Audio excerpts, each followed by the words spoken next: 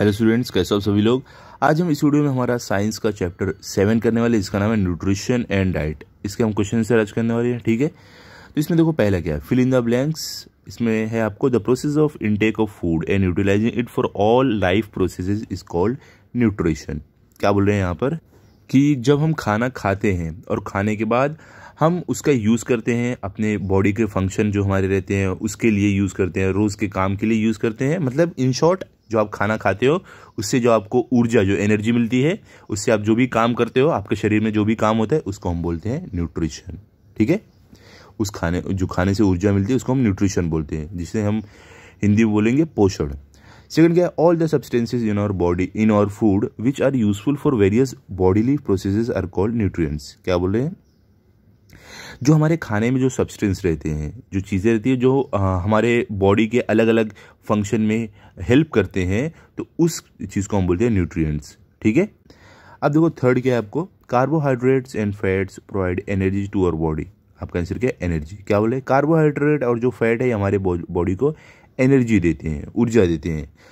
अभी देखो आपको फोर्थ में क्या दिए गए? In a balanced diet all the nutrients are present in the adequate proportion क्या बोल रहे जो एक बैलेंस डाइट रहती है, उसमें जो भी न्यूट्रिएंट्स रहते हैं, वो बराबर मात्रा में रहते हैं, ठीक है? अब फिफ्थ में क्या है? In the food pyramid cereals are given the maximum space because they fulfil our energy carbohydrates dietary requirements क्या बोल रहे हैं? कि जो फ़ूड पिरामिड होता है उसमें सीरियल्स को सबसे ज़्यादा जगह इसके लिए दी जाती है क्योंकि वो हमारे शरीर की कई ज़रूरतों को पूरा करते हैं। जैसे कि एनर्जी देना कार्बोहाइड्रेट देना डाइट्री तो ये सारी चीज़ें हमारी पूरी होती है। इसमें और भी आंसर आ सकते हैं, ठीक है? अब देखो सिक्स में क्या intake of more food than necessary causes obesity क्या बोल रहे हैं? कि जितना आपको खाना चाहिए, अगर आप उससे ज़्यादा रोज़ खाना खाओगे तो आपको ओबेसिटी होगी मतलब आप मोटे होगे, ठीक है? अब सेकंड क्या है आपको? स्पॉट द यहाँ पे spot the following table of vitamin and minerals क्या बोल रहे हैं? यहाँ पे आपको पता लगाना है कि वाइटामिन कौन से है मिनरल्स कौन से है।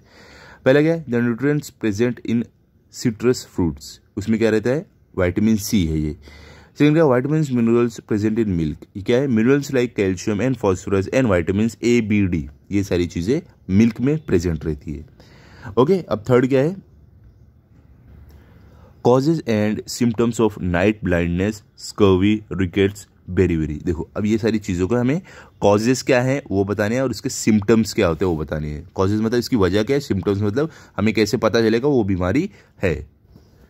तो देखो, पहला क्या है नाइट ब्लाइंडनेस मतलब कि जिसे रात को दिखता नहीं है। तो क्या है इसका कॉज क्या है? डिफिशियंसी ऑफ़ वाइटामिन ए जिसके शरीर में वाइटामिन ए की कमी हो, उसके साथ ऐसा हो तो इसके सिम्टम्स क्या है? Inability to see in dim light मतलब कि वो डिम लाइट में, अगर लाइट थोड़ा कम रहे, ज़्यादा लाइट नहीं रहे तो उसे अच्छे से दिखाई नहीं देता है। ठीक है? अब देखो, क्या है आपको?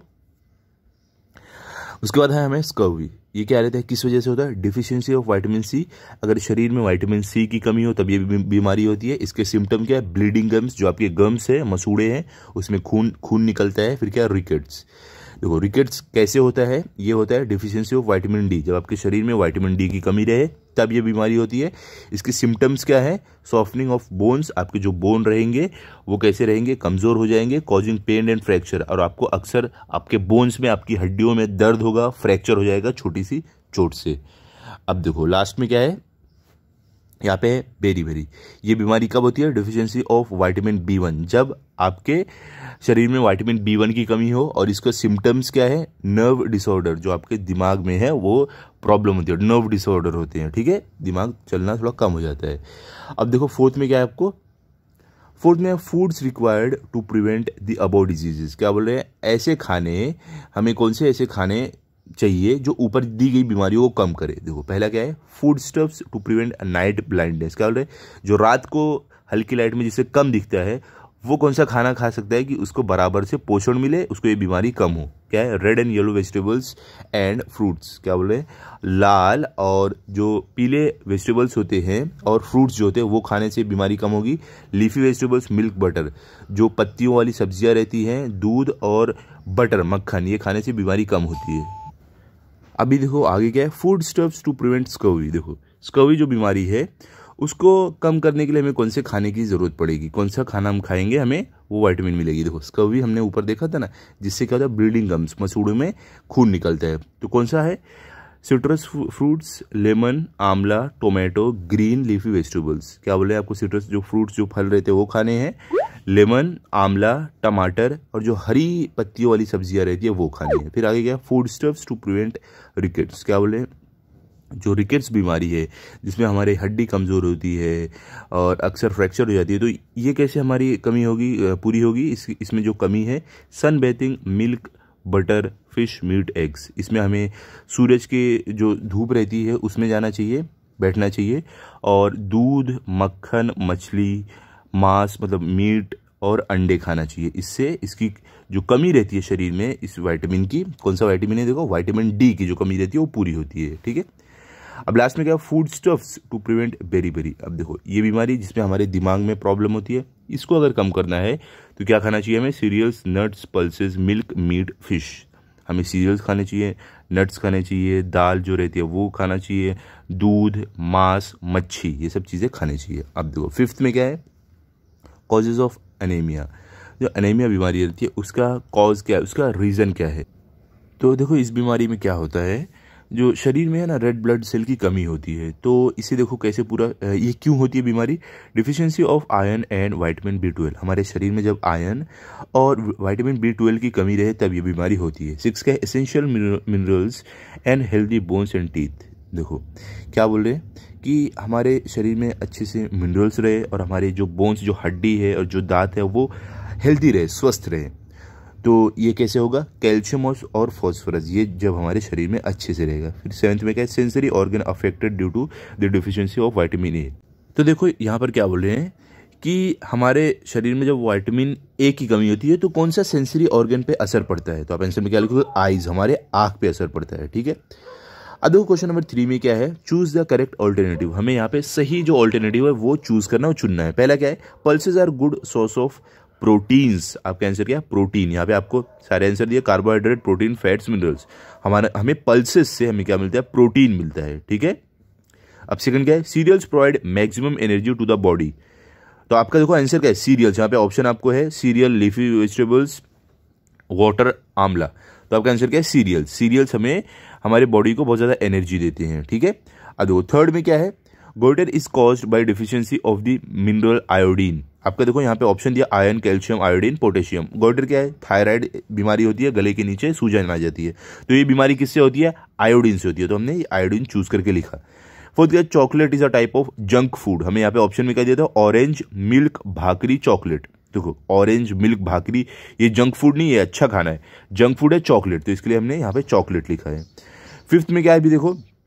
Vitamin K is essential for blood clotting क्या बोल रहे हैं यहाँ पर? कि वाइटामिन कौन सा है? ए बी ट्वेल्व ई या के तो हमारा आंसर क्या ए के के तो क्या है? वाइटामिन के एसेंशियल है ब्लड क्लॉटिंग के लिए। उससे ब्लड क्लॉटिंग होता है, ठीक है? ब्लड जम जाता है। अब फोर्थ क्या है? Use the food pyramid select food items of your choice for three days conditions देखो, क्या बोले आप ये जो फ़ूड पिरामिड हमारे टेक्स्ट बुक में दिए गए, इसको चूज़ करो और आपको आपके तीन दिन का खाना इसमें से चूज़ करना है कि तीन दिन तक आप ये खाओगे। कंडीशन क्या है? The diet for all three days should be balanced there should be variety in the items chosen for three days क्या बोले जो आपकी डाइट रहेगी, आपकी खाने की वो बैलेंस रहनी चाहिए। और ये जो आपकी, जो आप चूज़ करोगे इसमें से खाना तीन दिन के लिए तो तीनों टाइम का जो तीन दिन का खाना रहेगा, वो कैसा रहना चाहिए? उसमें वैरायटी रहनी चाहिए अलग अलग टाइप की। ये नहीं, अगर आप इसमें चूज़ करो खाली मीट खाली जो मांस है वही चूज़ कर लो, या तो खाली मच्छी चूज़ कर लो, या तो खाली फ्रूट्स नहीं, आपको सब ऐड करना है। तो ये आपको खुद से लिखना है आंसर आप क्या खाना पसंद करोगे, और सब में से आपको थोड़ा थोड़ा चूज़ करना है चूज़ करके आपको लिखना है, तीन दिन का आपका खाना, ठीक है? अब देखो फिफ्थ में क्या है, यहाँ पे आंसर द फॉलोइंग क्वेश्चन पहला क्वेश्चन क्या है what is the use of food for living things क्या बोले जो लिविंग थिंग्स है, जो जीव है, उनके लिए खाने का क्या इस्तेमाल है? आंसर क्या है? Food is needed for all the living beings for the following purpose क्या बोल रहे जो खाना है, वो सभी लिविंग बींग्स के लिए ज़रूरी है, इन सारे पर्पज के लिए। क्या है? ऑप्टेनिंग एनर्जी हमें ऊर्जा के लिए, हमारे बॉडी को एनर्जी मिले for the growth of body हमारे शरीर के लिए, बढ़ने के लिए to carry out day to day functions of the body रोज़ का काम हमारी बॉडी जो है, अच्छे से कर पाए, इसके लिए ज़रूरत है। To develop resistance against disease बीमारियों से लड़ने की शक्ति आए, इसके लिए ज़रूरत है हमें खाने की। या तो कोई भी जीव है, उन्हें खाने की। अब देखो सेकंड क्या है आपको? What is kilo calories how many kilo calories do you require per day क्या बोले किलो कैलोरीज क्या होता है? और हर रोज आपको कितनी किलो कैलोरीज चाहिए? तो आपका आंसर क्या है? Unit of energy obtained in the form of heat from the dietary food stuffs consumed is called kilo calories क्या बोल रहे हैं? कि जो एनर्जी हमें मिलती है यूनिट ऑफ़ एनर्जी जो हमें मिलती है, जो भी खाना हम खाते हैं, उसको किलो कैलोरीज बोलते हैं। आगे क्या है? आगे क्या है आपको? Growing children like us need about two thousand five hundred hundred calories of energy per day क्या बोले? बढ़ते हुए बच्चे, जैसे कि आप, आपकी एज वाले जो बच्चे हैं, तेरह साल, बारह साल, ये बच्चे लोग को चाहिए रहती है हर रोज दो हज़ार से ढाई हज़ार कैलोरीज ठीक है? थर्ड में क्या भी आपको देखो water probiotics in what form do we take it in inner diet क्या बोले? कि प्रोबायोटिक्स क्या होते हैं और इनको हम अपने खाने में किस तरीके से लेते हैं? तो आंसर क्या है? The useful micro organisms which are present in our digestive system are called probiotics क्या बोल रहे हैं? कि जो यूजफुल माइक्रो ऑर्गेनिज्म जो हमारे डाइजेस्टिव सिस्टम में रहते हैं, उन्हें हम प्रोबायोटिक्स बोलते हैं। This micro organism produce vitamin naturally in our body क्या बोल ये जो माइक्रो ऑर्गेनिजम्स है, ये नेचुरली हमारे शरीर के अंदर क्या बनाते हैं? वाइटामिन बनाते हैं। We take this in the form of butter milk and yogurt or curds क्या बोले हम इनको बटर मिल्क जो रहता है, वो दही जो रहती है, वो इनके रूप में हम इसके रूप में हम इनको अपने शरीर में लेते हैं। ठीक है? अब देखो क्या है fourth what is the significant of the balance diet क्या बोल रहे हैं? एक बैलेंस जो डाइट रहती है, उसका फ़ायदा क्या होता है? क्या है देखो सिग्निफिकेंस ऑफ़ बैलेंस डाइट क्या है? The capacity to work increase due to balance diet क्या बोले जो आपकी काम करने की क्षमता रहेगी बैलेंस डाइट होने की वजह से वो बढ़ जाएगी। The physical and mental health is well preserve और आपकी जो शारीरिक और जो दिमाग का जो स्वस्थ रहेगा, वो ज़्यादा अच्छा हो जाएगा। There is increase capacity to fight against disease और आपके शरीर में बीमारियों से लड़ने की ताकत बढ़ जाएगी। The body achieves proper growth और आपके बॉडी के, आपके शरीर के अच्छे से बढ़ेगा। आपका बॉडी आपका शरीर अच्छे से बढ़ेगा। अगर आप प्रॉपर बैलेंस डाइट खाओ। Fifth what is junk food what happens if you take excess of junk food क्या बोल जंक फ़ूड क्या होता है? अगर हम बहुत ज़्यादा जंक फ़ूड खाने लगे तो क्या होगा? आपका आंसर क्या है? The food that does not give any nutrition but just gives excessive calories is called junk food क्या बोल रहे ऐसा खाना जो हमें न्यूट्रिशन नहीं देता है, लेकिन ज़्यादा खाने उसको खाने से हमें बहुत ज़्यादा कैलोरीज मिलती है। Chocolates noodles burger pizza soft drinks and package snacks are all types of junk food क्या बोले? चॉकलेट हो गया नूडल हो गया बर्गर हो गया पिज्जा हो गया जो सॉफ्ट ड्रिंक जैसे Pepsi Coca Cola Maaza Frooti ये सब हो गए। तो जो, जो भी पैकेट में खाना आता है ये सारे होते हैं junk food due to eating these food stuffs our body experiences shortage of proteins vitamin and minerals which leads to malnutrition क्या बोले? इनको बहुत ज़्यादा खाने से हमारे शरीर को जो वाइटामिन प्रोटीन मिनरल्स है, इसकी कमी होती है, जिससे माल न्यूट्रिशन होता है। Due to excessive calories it cause obesity बहुत ज़्यादा कैलोरीज होने से हमें ओबेसिटी होती है, हम मोटे हो जाते हैं। और health is severely affected due to junk food हमारे स्वास्थ्य पर बहुत बुरा असर पड़ता है जंक फ़ूड की वजह से। ठीक है? अब देखो सिक्स में क्या है? हाउ टू अवॉइड ओबेसिटी क्या बोले ओबेसिटी से कैसे बचना चाहिए?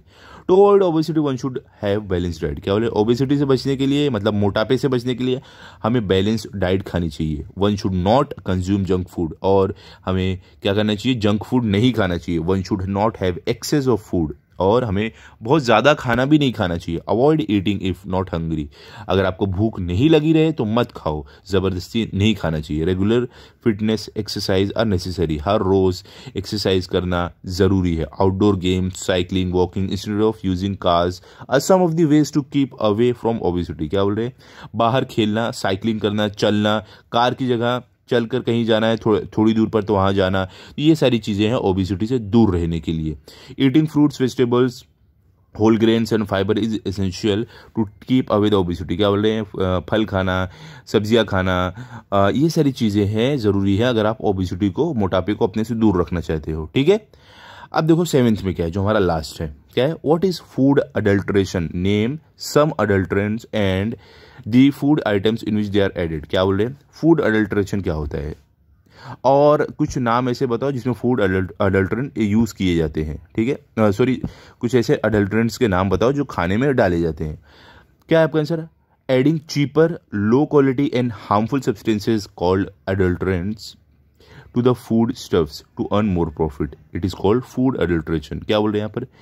कि सस्ता लो क्वालिटी का और नुकसान करने वाला सब्सटेंस खाने में डालना ताकि उसकी मात्रा बढ़ाई जा सके अपने फ़ायदे के लिए। इसको बोलते हैं food adulteration adulterated food is impure and unfit for consumption और जो अडल्ट्रेटेड फ़ूड फ़ूड रहता है, ये इम्प्योर रहता है।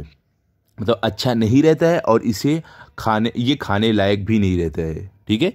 अब देखो फ़ूड आइटम जिसमें अडल्ट्रेंट्स मिलाए जाते हैं मिल्क में कौन कौन से मिलाए जाते हैं? Water chemical like urea and starch जो बहुत खतरनाक है शरीर के लिए।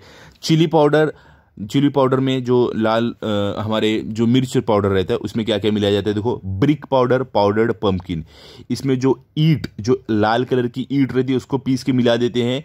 या तो जो पम्पकिन है उसका पाउडर बनाकर मिला देते हैं। तो हमारे शरीर के लिए नुकसान नुकसानदेह रहती है। फिर क्या आपको आगे देखो? Peppercorns. इसमें क्या मिलाया जाता है? पपाया सीड मिला देते हैं इसमें, ठीक है? आइसक्रीम आइसक्रीम में क्या मिलाते हैं वॉशिंग सोडा पेपर पल्प इसमें वॉशिंग सोडा जिससे बर्तन, कपड़े धुले जाते हैं, वो मिला देते हैं। या तो पेपर का पल्प बना के पेपर का एक तरीके से गीला करके उसको एक पल्प बनाते हैं और उसको मिला देते हैं, जो बहुत ही खतरनाक है शरीर के लिए। राइस चावल में क्या मिलाते हैं? स्मॉल वाइट स्टोन्स छोटे छोटे वाइट कलर के पत्थर मिला देते हैं, जिससे क्या होता है? वज़न बढ़ जाता है। तो लेकिन ये हमारे खाने में आ जाए, हमारे दांत के नीचे आ जाए तो देखो दांत हिलने लगता है, किसी किसी का दांत टूट जाता है तो ये बहुत नुकसानदेह पीनट्स पीनट्स में क्या मिलाते हैं? रेडिश पेबल्स और स्टोन्स पीनट्स में लाल पत्थर या स्टोन मिला देते हैं, ठीक है? ओके तो आप समझ गए क्या क्या कैसे मिलाया जाता है और क्या क्या हार्मफुल है हमारे बॉडी के लिए? तो यहाँ पे हमारा एक चैप्टर कंप्लीट हुआ। अब इसको अच्छे से पढ़ लो। और लर्न कर लो। आई होप ये आपको अच्छे से समझा होगा। मिलते हैं अगले वीडियो में। अगर आपको ये वीडियो अच्छा लगा है तो आप इस वीडियो को लाइक करो, अपने सभी दोस्तों के साथ शेयर करो और चैनल को सब्सक्राइब करो। Thank you